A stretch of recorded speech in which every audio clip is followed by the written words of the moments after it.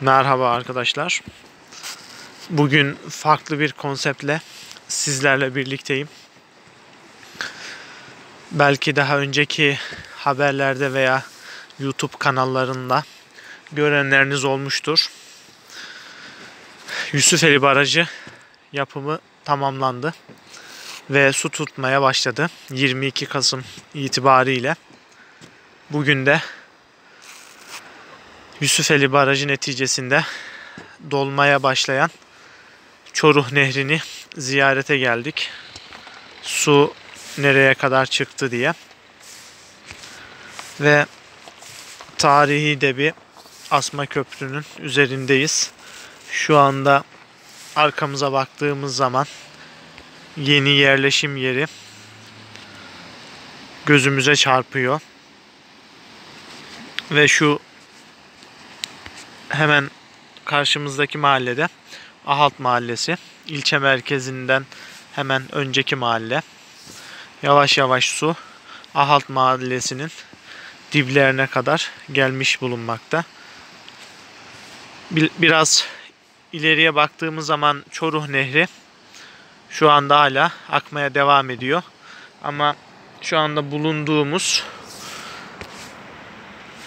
Asma Köprü'nün altından itibaren su durgunlaşmış. Yani şu anda su yükle, yüksekliği buraya kadar gelmiş. İlerleyen günlerde su tabii ki de daha da yükselince yavaş yavaş Ahalt Mahallesi'ni ve ardından da yaklaşık olarak Yusufeli'nin tamamına yakınını sular altında bırakacak. Yusufeli ilçesinde de taşınma süreci hala devam ediyor. Çoğu konut taşınmış vaziyette fakat iş yerleri henüz tamamen boşaltılmadı. O yüzden şu anda da yani eski Yusufeli ilçesinde yoğunluk olduğu söylenebilir. Böyle